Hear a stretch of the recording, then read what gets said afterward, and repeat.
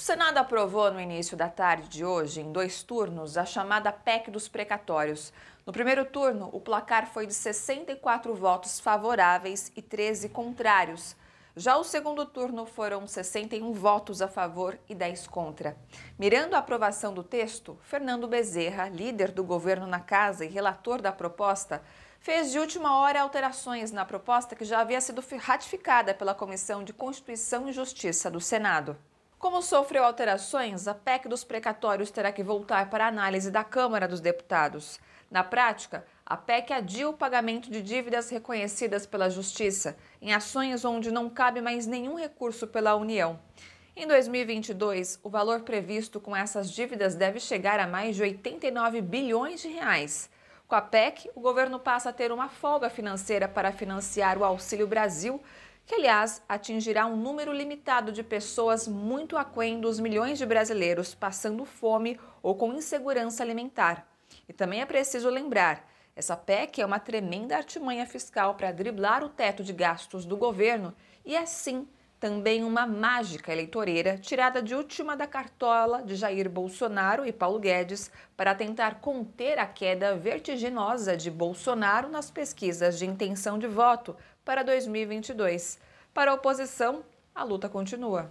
O Brasil não pode e o povo brasileiro não pode esperar mais para ter comida na mesa, segurança alimentar, que é um problema hoje de milhões de famílias. Sentimos porque ainda ficarão mais de 10 milhões de famílias fora, porque não há, não há um esforço ainda maior da parte do governo e da equipe econômica no sentido de incluir a todos. Mas, como é um direito, a luta continua. A proposta, apesar de ter sido aprovada com o apoio da oposição pela urgência em ajudar milhões de pessoas que passam fome no país, foi alvo de críticas também do senador Randolfo Rodrigues, que lembrou que o governo extinguiu o Bolsa Família. Ela foi concebida para dar calote.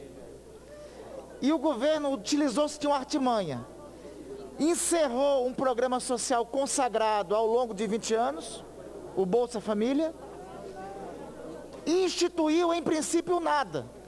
Depois institui o Auxílio Brasil, que no seu cadastro inicial tirou milhões de brasileiros do programa social anterior. Mesma posição teve a senadora Zenaide Maia, que votou sim para a PEC, com ressalvas. Fiquei muito preocupada quando vi essa PEC, a famosa que chama PEC do calote. É tão estranho você ver, você tem Bolsa Família, um programa estruturado de 18 anos, mas vai ser outro nome, Renda Brasil ou Auxílio Brasil. Isso foi condicionado porque a gente tem uma MP, que eu sou a favor e vou votar, a medida provisória que vai é, poder é, pagar o auxílio emergencial de quem está, dos mais carentes e vulneráveis. Mas também precisamos da garantia, porque o governo disse logo, se não aprovar a PEC, abrindo o espaço fiscal, não terá, não terá auxílio emergencial. Hein? Gente, bora fortalecer a TVT? É só clicar em inscrever-se e depois clicar no sininho.